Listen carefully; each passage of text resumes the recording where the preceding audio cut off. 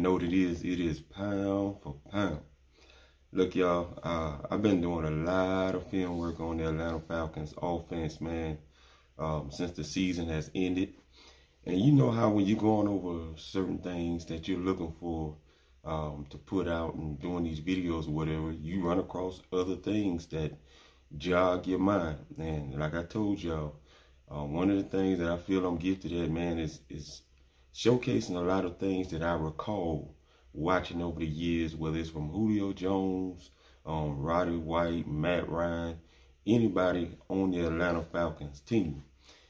And I'm gonna tell you right now, man, number 18, Mr. Calvin Ridley.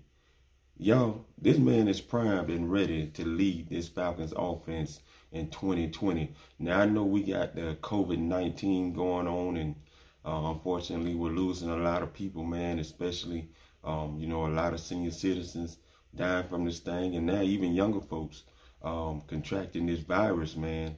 And, you know, football season is, is in doubt right now. We don't know we're going to have a season. But I'm going to tell you, man, I'm going to talk about the Atlanta Falcons until Roger Goodell say we are not having a season this year. So you can look for more videos, especially videos looking at clips of some of our favorite Atlanta Falcons players. For me, it's been on the offensive side of the ball. I don't know if you guys have noticed the trend that JR and myself have had where he's been doing a lot on the defensive side of the ball, and I've been doing a lot on the offensive side of the ball, with the exception of the one special teams video that I put out. But man, I'm excited about Calvin Ridley in 2020. Guys, man, you got to give Julio Jones a lot of credit. Him and Matt Ryan have done a masterful job since the day that Calvin Ridley was drafted back in 2018, really preparing Ridley to take the big, big step in year three of his career. You guys have seen videos with him out there um, still sharpening his skills, running his routes, even working with Cam Newton. Um, Cam Newton cracking jokes about since he's from Auburn, that he don't work with guys from Alabama. Um, but Calvin Ridley was putting in that work. Him and Mohamed Sanu helping Cam Newton stay sharp after getting released from the Carolina Panthers. And you even saw Calvin Ridley at his own home or whatnot, um, working out and still doing his thing because he's preparing to really take this thing to the next level. Look, I don't think a lot of guys understand that Calvin really has not started in a lot of games since being in the NFL. Um, one, because Mohamed Sanu um, was one of the guys that the Falcons were relying on to be in this offense since 2016 when we signed Mohamed Sanu. Um, Calvin really only has 15 starts. Ladies and gentlemen, that's 15 starts in two seasons. And you all know as well as I know, it's 16 games in a season. Last year in 2019, Calvin Ridley, because the removal of Mohamed Sanu, and looking at his development, they had to let Mohamed Sanu go. Um, started 10 games last season. Now, he missed a couple like he did in 2018, whether it was due to an ankle injury that put him on IR in 2018 or an abdominal strain which put him on IR in 2019. But this guy has an opportunity now to start 16 whole games. Now, we didn't draft DJ Moore, and you know the Carolina Panthers took DJ Moore two picks before Calvin Ridley at 24 in 2018. Now, you look at these guys' numbers, DJ Moore has had 10 more starts. He started 25 games. That's 10 more starts than Calvin Ridley in his career. Yet Calvin Ridley is still putting up excellent numbers. 17 touchdowns in two seasons. Ladies and gentlemen, this guy is proven to be a touchdown machine. I'm going to show some clips, man. Um, you guys remember in 2011, Julio Jones stormed on the season, man, and had a great season for the Atlanta Falcons. Missed a couple of games or so himself with hamstring issues earlier on in his career. But a catch came to mind when I watched Calvin Ridley in week two against the Philadelphia Eagles. And I'm sure you guys remember the one where Matt Ryan threw it to Calvin Ridley and he high pointed it, splitting two defenders to catch the ball for a TD grab, hitting the ground. Think about this for a second. Julio Jones does a very similar play in 2011, and I was actually blessed to be at that game against the Tampa Bay Bucks. It was the last game of the season, um, a game that was deciding the Atlanta Falcons whether they were going to be the fifth seed or the sixth seed going into the 2011 playoffs. And Julio Jones makes a similar grab.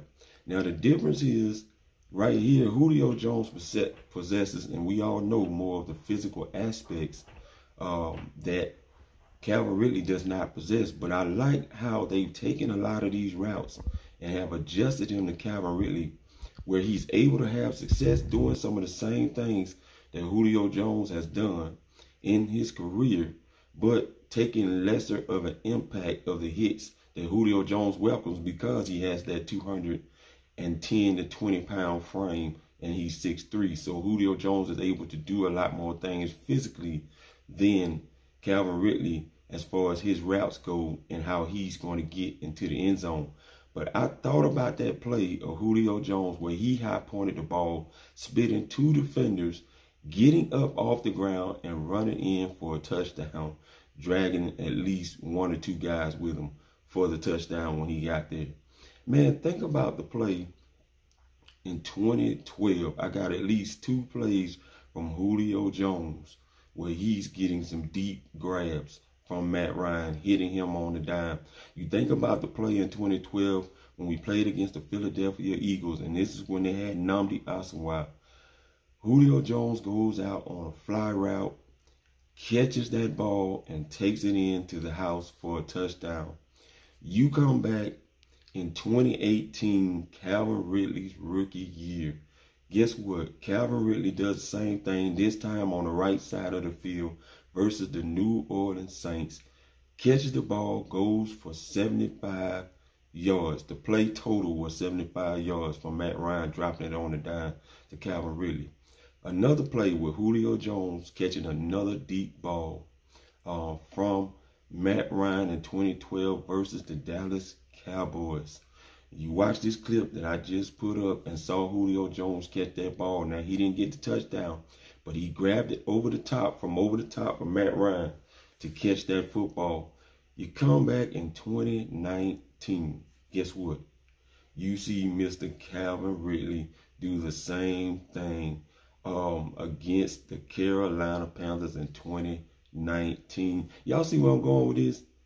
They've done a great job at helping Calvin Ridley be able to do a lot of the things that Julio Jones has done. Julio Jones has taken his brother from Alabama and he's prepped this guy to be a lead man on this offense in 2019, being able to run plays and routes such as Julio Jones, running routes such as Roddy White, even from the toe tapping that Julio Jones has been very popular with being able to do. You saw the game, uh, Julio Jones in 2012 against the Washington Redskins, a similar play that Matt Ryan did with Calvin Ridley in 2019 against the Texans, where Matt Ryan rolls out to the right, hits Calvin Ridley. Calvin Ridley catches the ball in the end zone and toe taps before he goes out of bounds. And Julio Jones does the same thing in 2012 against the Washington Redskins in the end zone. I mean, just watching the things that Calvin Ridley has already been able to grasp from Julio and Matt Ryan, what Matt Ryan likes to do, the type of routes he likes to throw, and being able to take all of this and going into his third season. Ladies and gentlemen, this is scary watching someone like Calvin Ridley do what Calvin Ridley is doing, and he is right on target for where the Atlanta Falcons would like for him to be.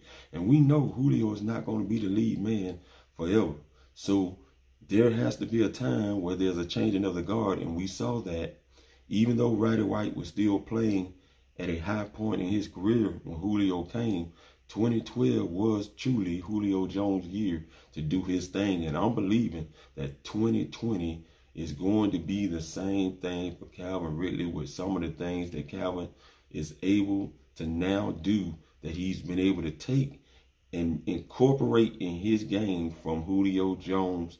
I'm excited about him, man. I just wanted to throw this video out here as you still will probably see some clips coming up and the things that he likes to do. One of the things that Calvin Ridley loves the most are these deep crossing routes. And we saw him have a lot of success with that in 2019, especially against the Carolina Panthers. And you see a clip of that coming up. Now imagine adding Hayden Hurst in the mix, who now is able to also run those deep crossing routes, which he had success with in college, and now gets to be in an offense that can truly utilize his skills the way that he deserves them to be used. And guys, we could have us potentially three 1,000 yard receivers in our offense in 2020 if Dirk Koetter does what Dirk Koetter needs to do to call an explosive offense for 2020. Hey, ladies and gentlemen, that is all I got, man. Look, y'all tell me how excited y'all are about Calvin Ridley, number 18. I know y'all excited about the new jerseys. I'm definitely going to be getting me a number 18 Calvin Ridley. So y'all be looking out for that. Um, continue to like and share and comment on these videos, man, and hit the notification button if you have not done so so that you can get all the alerts when JR and I are putting these videos out. Hey, I'm Toby D, pound for pound ATL. Peace. I'm out.